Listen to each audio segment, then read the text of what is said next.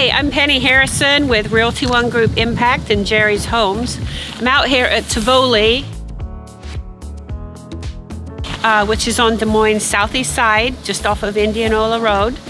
And uh, we're in a development here that is almost sold out. So you've still got time to come out here, uh, call me, um, and look at these townhomes. I have uh, these wonderful townhomes here available.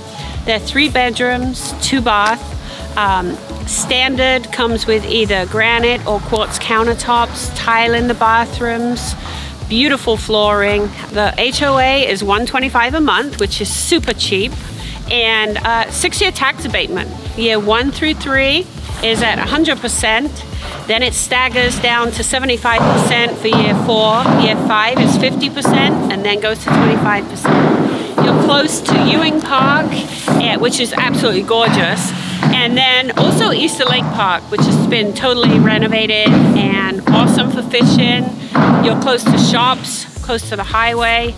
Just come on out. These are selling out so quickly um, in the cul-de-sac.